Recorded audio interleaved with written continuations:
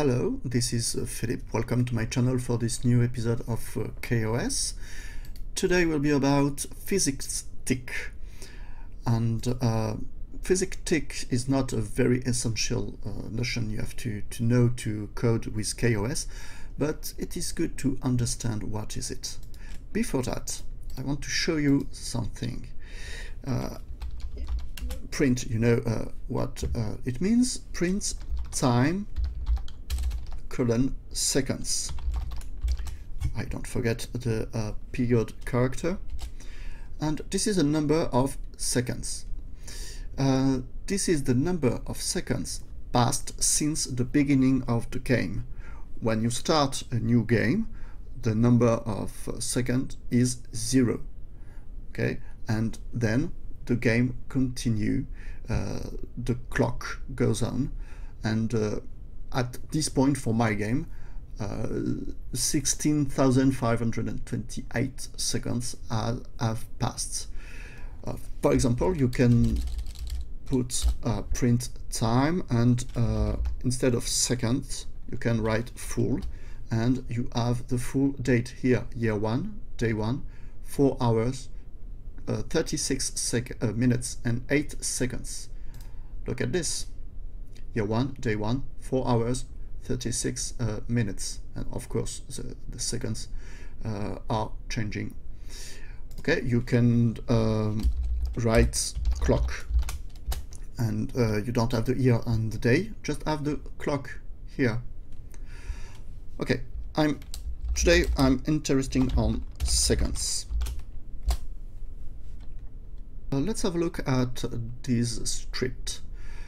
Uh, first I clear, clear the screen, right? Then I print seconds passed with the, uh, the quote character plus uh, time seconds. Uh, you know that those, wor those words between the quote characters um, are, are being printed exactly as uh, they are uh, written here. And here there is no uh, quote character, so that means uh, that uh, KOS will print the value of that uh, number.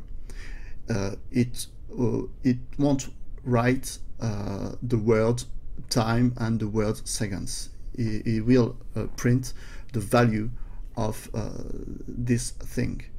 And the plus sign here is to print those words and the value one after the other. Let's have a look. I save the script and run tests. You see, seconds passed and the value. And I waited, I have waited one second on my script and I print one second later, one second later is written here, and the value of time seconds. Okay, so um, here this value must be one second later than this value. If you look at the number, the number here uh, finishes with uh, 5, 4 and here with 5, 5. Okay, that seems good because uh, the time one second passes.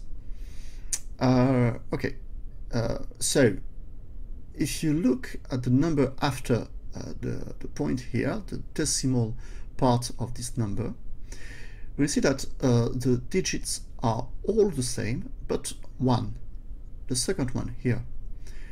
Okay, th there is a difference. There is a difference of 0.02 seconds. And this difference is the uh, physics tick. If we look at the documentation of uh, KOS, it is written here, Kerbal Space Program simulates the universe by running the universe in small incremental time intervals. That for the purpose of this document we will call physics ticks. Okay, so physics ticks are called that way by KOS. And uh, the game tries to simulate the universe using 50 physics ticks per second. That is uh, 0.02 seconds per tick. And here we are we have the 0.02 seconds okay that, that means that the the, the 0.02 seconds is the interval of time of uh, that physics uh, tick that physics tick Next, uh, it is written that uh, there is a lot of variation depending on, on uh, how fast your computer is, how early you are loading it with large rockets and or complex modes.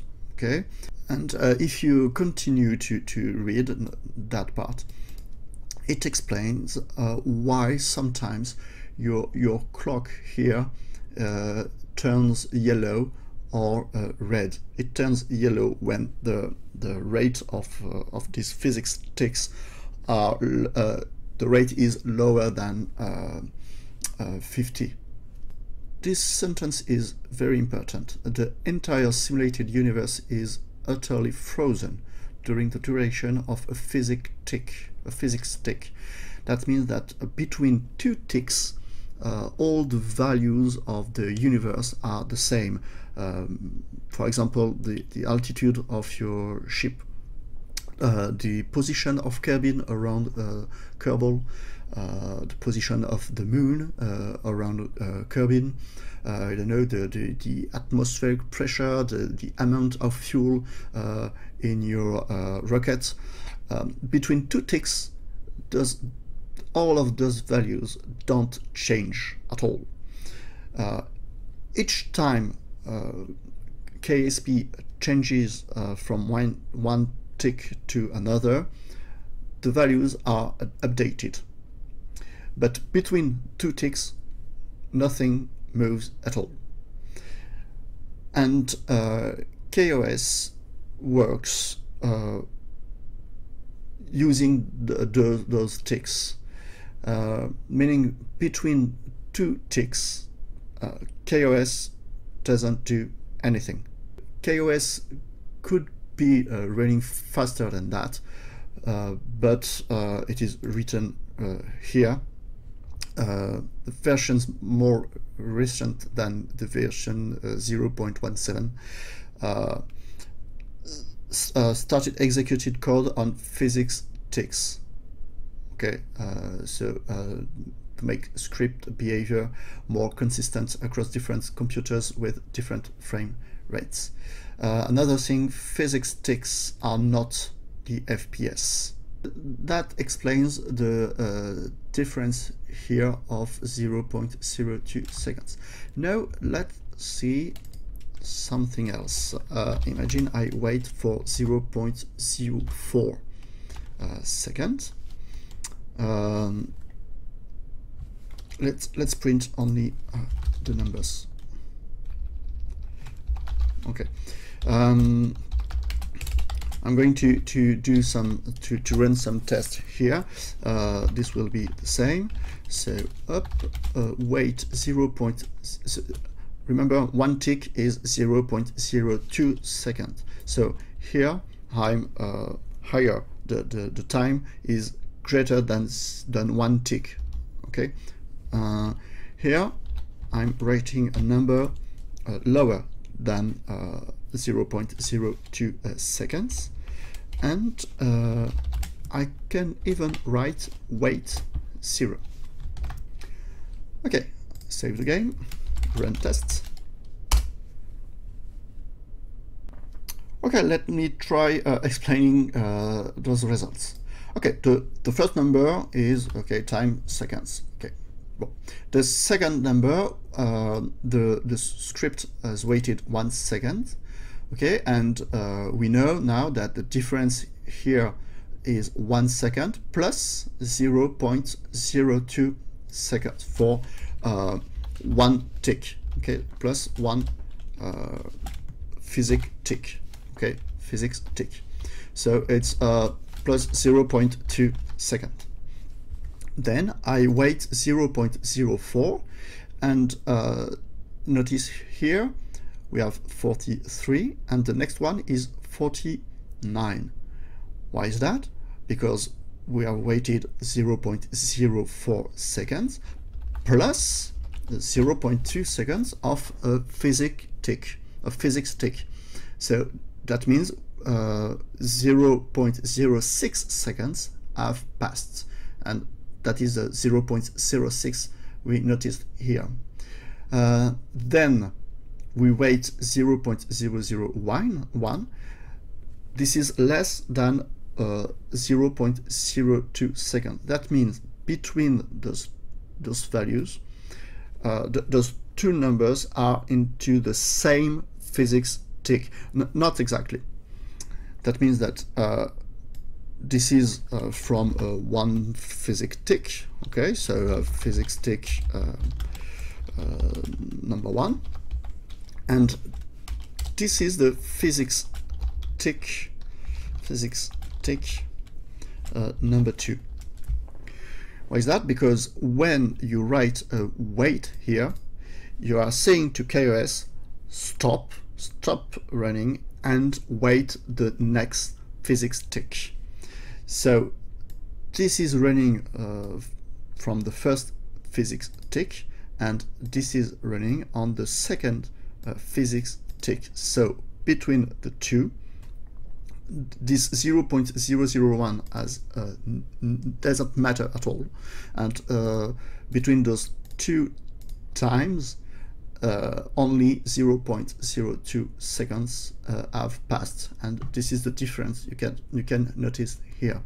That means that uh, the, the value here doesn't matter if it is less than 0.02 what matters here is the keyword wait because the wait says um, to KOS please stop and wait until the neck the next physics tick and that's why here the wait 0 does exactly the same that wait 0.01 because uh, if if KOS wait it waits for the next physics tick. And that's why here you have also 0.02 seconds. You have difference of 0.02 seconds and uh, what happens now if I uh, print the number of seconds without the wait instruction? Uh, run test. Okay, one second later, 0 0.06 second later, 0 0.02 second later, 0 uh, here 0.02 and here we go. See that? Between those two last values there is no difference at all because here we are on the same physics ticks physics tick okay? Without the wait, uh, KOS still are in the same physics tick so the numbers are frozen so uh, it is exactly the same amount of uh, time uh, in the in the KO, KSP world in the KSP universe in in the real world this is this is not exact. There is a, a tiny fraction of seconds between the the two lines here. So uh, with uh, with a lot of digits we, we should notice at the moment uh, a difference. But in the KSP world, in KSP universe, because each moment lasts 0.02, there is no difference. And uh, this is it. This is uh, why uh, the wait instruction is important. I repeat, um, it is not essential to, to understand uh, how physics ticks uh, work, but well, it, it is better to know uh, that physics, physics ticks exist to understand some uh, some numbers. You, you can calculate yourself in physics formula for example if you want to to uh, to uh, compute yourself uh, a formula of uh, I don't know to know the delta v of your of your rocket uh, to use some equations, some AV equations, uh, some math formulas, it is important to, to know that, that, that those physics ticks uh, exist. That's all for today. Thank you for watching and see you next time. Bye bye.